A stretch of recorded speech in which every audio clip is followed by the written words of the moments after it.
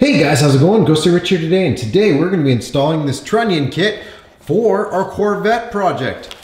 I'm going to be putting this into, of course, an LT-based motor, 2017 Grand Sport project.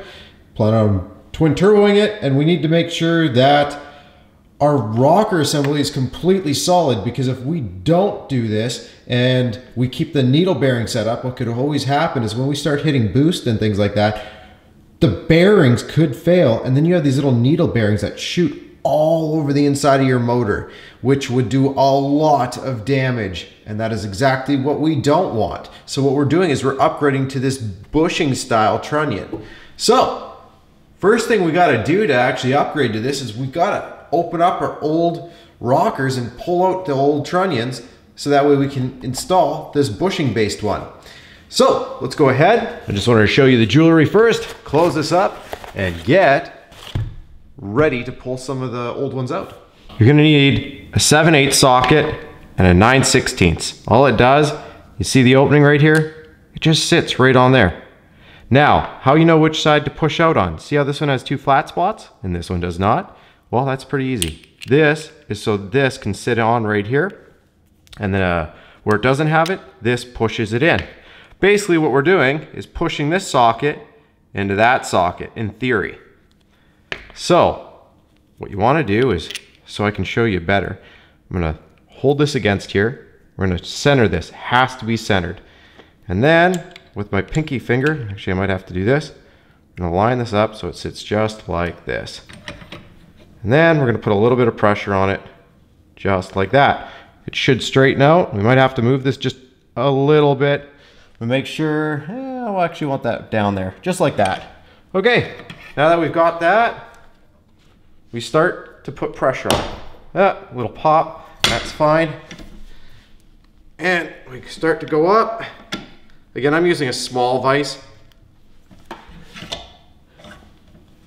Since I'm using a small vise, it's uh, a little bit more fun. If you're using a bigger vise, it goes by a little quicker. But once it gets started, see that?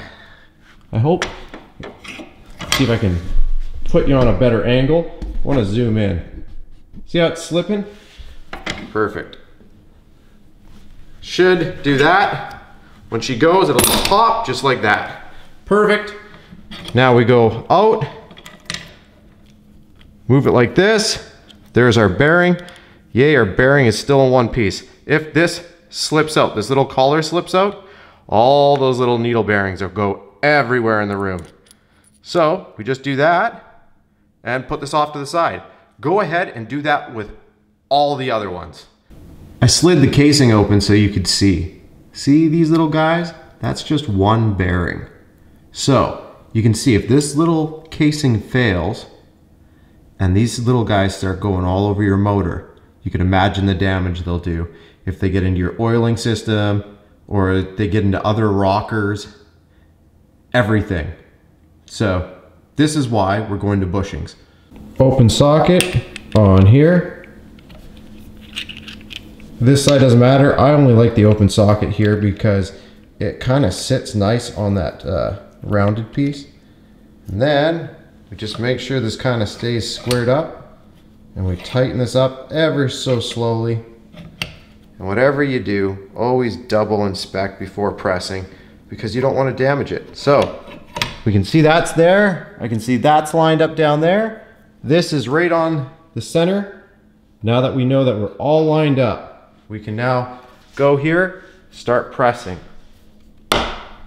Always does that one scary pop. And then we just start squishing. This vise, if it was mounted, would be a little bit better, but this is my portable vise.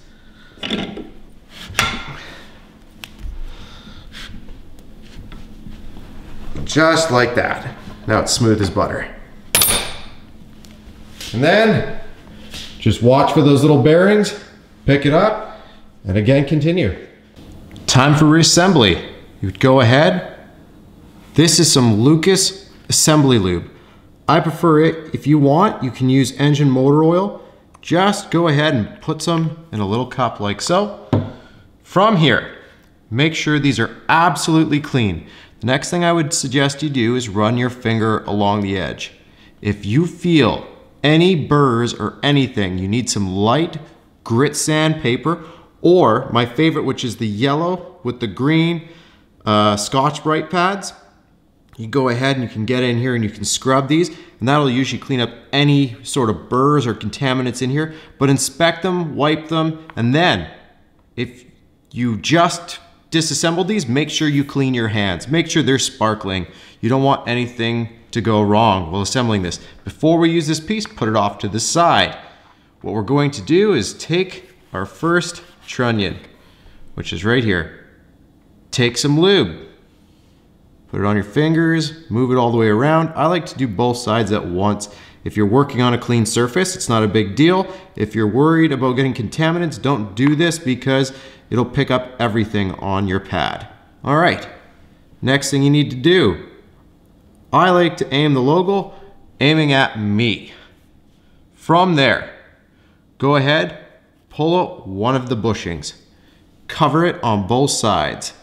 You cover it on both sides, even though we've already got the inside covered, we now know it's going to take care of everything. Slide it on. Here you go. Make sure it's all clean. Feel for any burrs with your finger. If anything catches or feels like grit on your finger, go grab a Scotch-Brite pad. That's that yellow pad with the green on the inside. And you just want to rub on the inside of here and get rid of it so this is nice and silky smooth. Now, we'll put this off to the side. If you want, take some assembly lube, like so, put it into this cup, just like that.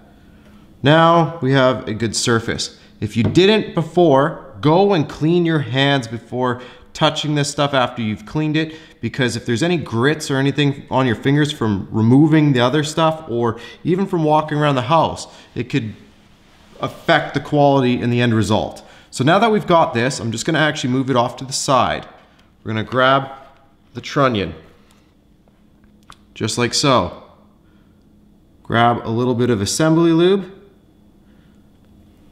put it around both edges since I know my work area is clean. I'm not worried about getting any lube on there. Clean this just a little bit. Grab this, a little more lube, little meaning lot, and then rub some on the inside, slip it on. Look at that. Now that we've got that there, we need one of our snap rings. Let's see if I can do it with this hand so that way I can properly show you. Basically, I've got right angle one so I can try and show you. Separate it like that. Open. Just like that. I might move that over just a little bit just because I'm a little crazy that way. I like to have everything right there straight. Because if you look on there, there's a little E. you don't have to do that, by the way. It's just craziness. Anyways, we go over here. Next thing to do, since we've already cleaned this, slide this piece on. There we go. Now that that's gone through, we go ahead, we use another bushing.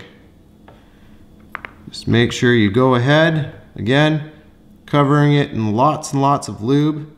We already lubed the trunnion side, but you can never do too much of this, especially since we're putting this into a fresh motor. Okay, that's down. And again,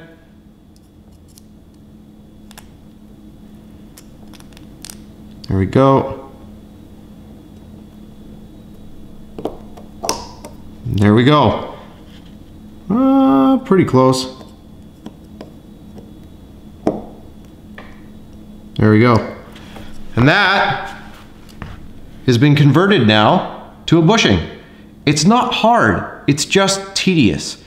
Make sure you put this somewhere, it's covered in lube and stuff so you don't want it to pick up anything. So I would put it in a either a Ziploc bag or in a contained area so that way it doesn't pick up any grits or anything like that and or just bolt it right back into the vehicle.